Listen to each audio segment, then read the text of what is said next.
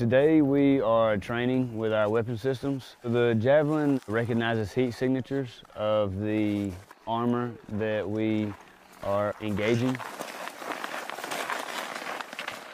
And it guides itself onto the target.